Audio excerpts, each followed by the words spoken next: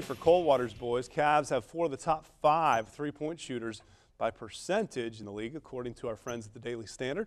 Marcus uh, Burns leading the way, hitting more than 54% of his threes. Cavs hosting Delphos St. John's tonight. Both teams six and five entering action tonight.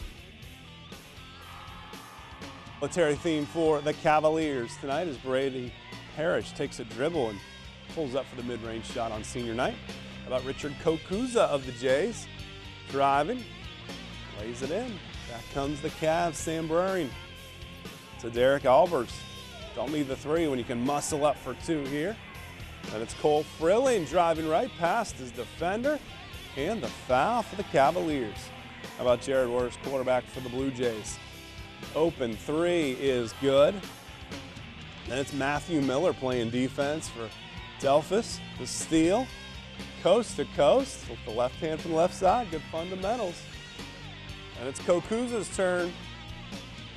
Driving, gets the lay, and this one goes to overtime. Delphos St. John's wins 53 to 50. It's the program's 1,500th win. A milestone moment as Derek Albers, 13 points, 13 rebounds, and Cole Frilling, 17 in the second.